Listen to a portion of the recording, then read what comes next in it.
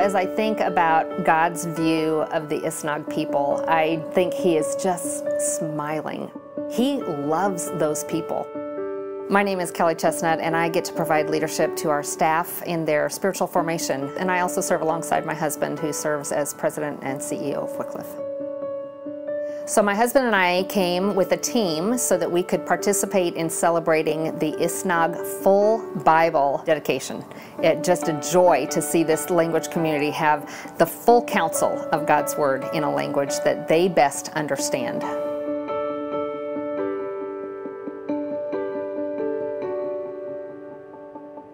66 years I waited for this whole Bible to come. I got to fly the first New Testament, the first printing of the New Testament here, June 24, 1982. The first 500 copies, flying it here as a pilot. It's just been exciting to see the, the culmination of that too. It's a privilege to be appointed by God to do the translation of your language. The Lord worked everything out for us, for the Isnag especially, and for His name.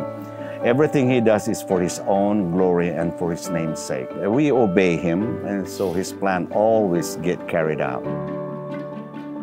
So while we were in Dibagat, a worship service actually set us up uh, before the dedication, the night before we entered into a time of worship, and it was so much fun. And then the next day, we actually came together in a celebration service in which we got to see and meet people from many different villages across the Isnag community. And it was just pure joy to see children and men and women coming together to celebrate receiving God's word in their language.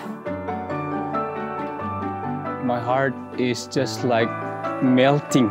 You know what I mean? It's like bottom melting when I read in my own heart language. I really understand every single word that the Lord says in His Word. And I'm really excited to share that uh, what I felt when I read through all this uh, whole Bible in my heart language.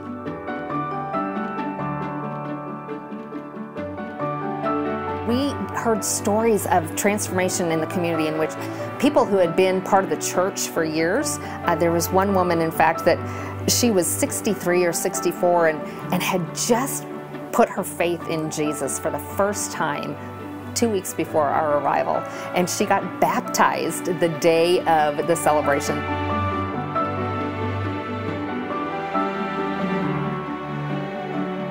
It was such a neat experience to know that generations past had no word of God in their language, to having the New Testament at one point, to having that New Testament revised because language changes, uh, and then to have an Old Testament included now, and then to see children.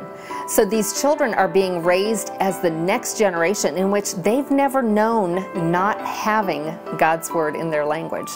When the Bibles were distributed after the celebration and the dedication, people stayed around for a long time so that they could get their turn waiting in line and uh, receiving their word. Some were just clutching the Bible to their chests. And others immediately sat down and started opening their Bibles, and some were looking through it, and others went straight to Old Testament passages. So, seeing the response of the community, priceless. Now that the Bible is uh, full now in our heart language, we are praying that we are able to distribute the Bible into all Isnags. And um, not only distribute, but doing evangelism, helping them to read uh, the Bible in their own heart language.